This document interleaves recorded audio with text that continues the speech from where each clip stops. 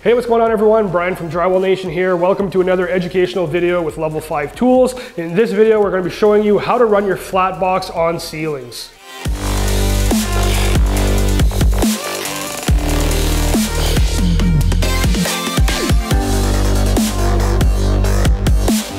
So we've already gone ahead and filled our flat box with joint compound. If you're not sure what your mud consistency should look like, make sure to look for our other educational videos with level five tools where we talk about mud consistency.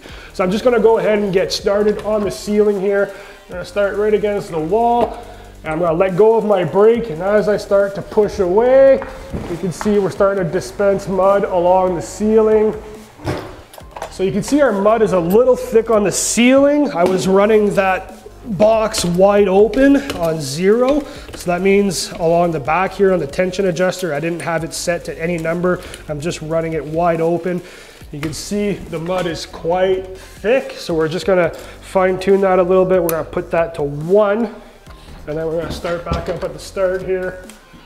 In case you're wondering why our butt joints aren't staggered, that's because we are using butt board by Trimtex. And what that does is it recesses your butt joints and creates a floating joint. So now I've just gone ahead and I've done the whole butt joint in one direction. You can see there are a few little bubbles and pockets if you look closely. Little bubbles in the mud. That's why it's good practice to go over your seams twice. So this is called tracing or chasing. So I already came here in one direction. Now I'm gonna redo the whole seam going back in the other direction and you're gonna see that's gonna clean up a lot of those little bubbles. So you can see we've already done our first long seam right down the middle of the ceiling. Now we're gonna do our bevel coming into our butt joint.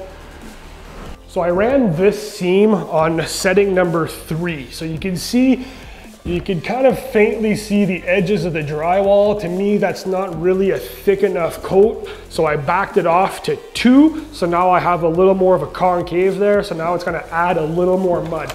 So I'll go ahead and I'll do this seam.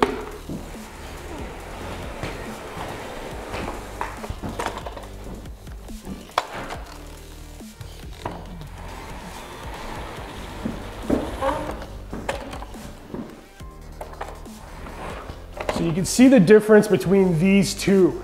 You can see this joint is a little more loaded than this one here. You can see here on the very edges, you can see it's already a little dry. You can see the shoulder of the drywall. And on this side over here, you can't see it as much.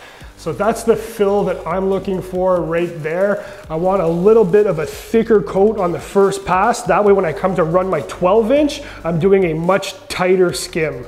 Something else you want to avoid is leaving lap marks right in the middle of a seam. So you can see I pulled off here, I left a lap mark there, but what's good practice is to continue that lap mark right next to your closest joint and you pull off before you get to that joint. That way you don't have to come back and sand that lap mark. So I'll show you an example of what I mean. So instead of leaving that there, we're just gonna put our box to the ceiling and we're gonna carry that right to the edge of our next seam, we're pulling the brake and then we're pulling the box off. So now we just eliminated leaving a lap mark right in the middle of our ceiling. Instead, we brought it over to our closest butt joint. We were able to pull off and feather that lap mark into our joint. So now I'm gonna go ahead and fill our flat box up again. Put it into our nozzle. We're gonna fill the box back and forth. There we go, it's nice and filled. It's always good habit to take your finger and just clean the back of your blade. That way if you get any little chunks of dried up mud, it gets rid of that, it stops it from dragging in your mud. So here we're gonna start at the butt joint. We're gonna work towards the wall, pull our brake. We're gonna come back from this direction, gonna finish it, and now we're gonna go over it a second time to help get rid of little any imperfections, pits or bubbles in the mud. And we're gonna carry that lap mark right to our butt joint. So starting at the wall, I'm gonna let go of my brake. And then as I get near, I'm gonna pull my brake and lift off right at my butt joint. So same thing, we're trying to get rid of those lap marks in the middle of a seam This is what I refer to as a Christmas tree. So you can see the drags right at the start of our run. So that's most likely because I was pushing a little hard at the start and what happens is the mud folds over the back of the troweling bar and then as you start to move forward that excess mud gets dragged. So I can most likely get rid of that if I just very lightly go up to it and pull without pushing too hard. You can see those Christmas trees are a lot smaller now. So now I'm gonna show you how to carry your flat box from room to room or just around the job site. You wanna carry it just under the head, right where your flat box handle meets the actual box.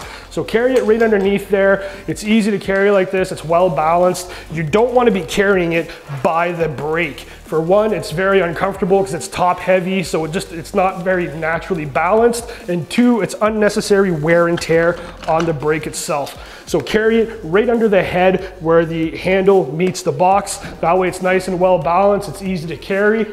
And then when you go to put it to the ceiling, that's when you transition to the brake. You're able to let go of this top hand, hold the brake in place. And then when you have your box to the ceiling, you can let go of that brake and start to roll freely. And then you pinch your brake again, just a few inches before you're getting ready to pull off. So I'll show you here, I got my hand on the brake, I'm gonna let go. I'm able to roll away. And then as I get towards the end of the seam, I pinch that brake again and pull off. So now I'm just gonna go ahead full tilt. I'll just run the box like I normally do. I'm gonna focus on ceilings. So I'll take you guys along with me and I'll kind of give tips and tricks as we go along. So here I'm gonna be starting at my butt joint. Again, we use Trimtex butt board. That's why our butt joints aren't staggered. So passed over the seam once. Now we're gonna come back over a second time. I'm gonna pull my brake at the end, pull off. I'm gonna start on this side, release my brake, pull my brake again at the end. If you take a look here, you'll see these are the little Christmas trees. If you want to eliminate it altogether, thicken your mud or push a little lighter. So you can see I have Christmas trees on both sides. If I kind of clean the back of my box here, just wipe my fingernail along there and I go over it so you can see how heavy that Christmas tree is. If I just go over it lightly without pushing too much, completely eliminated that Christmas tree. You get a lot less distance out of your first coat of mud this is called your block coat or your fill coat. We're getting a little more than usual because we're using the Mega flat box by level five. So it holds 50% more mud than your standard classic. So I talked about eliminating lap marks. So you can see all along these seams on the ceiling, there's no lap mark in the middle of the seam. I carried it right through the butt joint where I was able to pull my brake and kind of pull the box off so there's no lap mark in between. Now, in an instance like this short seam here, I'm working between two walls. There's nowhere for me to pull off, so I have to leave a lap mark right in the middle there. So I'll go one way, come back the other way, I'll finish that half of the seam, and I'm gonna go over the whole thing again, leaving a lap mark in the middle because it's unavoidable in this instance. So all along this ceiling here, we're gonna have a little lap mark in the middle of this seam because we're finishing between two finished walls. And those little lap marks, we just pre-sand those between coats. So after this 10 inch coat dries, we're gonna come back tomorrow and pre-sand this. So now you can see where our little flip marks are quick pre-sand before running our next coat. And of course, our next coat is gonna be two inches bigger. On our first coat, we're passing a 10 inch. On our next coat, we're gonna do a 12 inch box. So when we do our butt joint again, it's gonna overlap these seams by an inch on either side. So it's gonna fill that very nicely. So I hope you enjoyed that video on how to run your flat box on ceilings. For more tips and tricks, make sure to check out the rest of our educational videos with level five tools. Thanks for watching.